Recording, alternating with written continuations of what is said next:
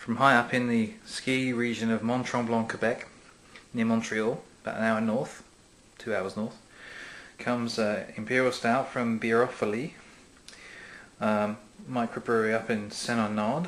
Um, it's 7.9% ABV. And pleasingly for all stout fans, it is delicious. Uh, there's no head at all. Almost looks like a porter from uh, close range even. Smell is unmistakable. It's the chocolatey coffee smell.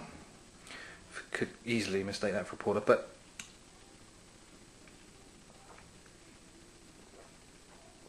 low carbonation, smoothness, and the richness of this beer is just incredible. It's inky black.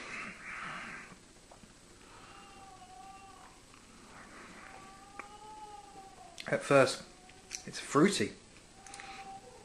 Then it descends gradually into this murky pit of darkness and deliciousness, and it's mostly chocolatey. It's kind of coffee undertone there. The bitterness comes through at the end. To me, this is pretty much a perfect microbrew stout. It's strong, it's tasty, it's Moorish. I could drink this all day. Unfortunately, I only have one, so I'm going to sip it and make it last.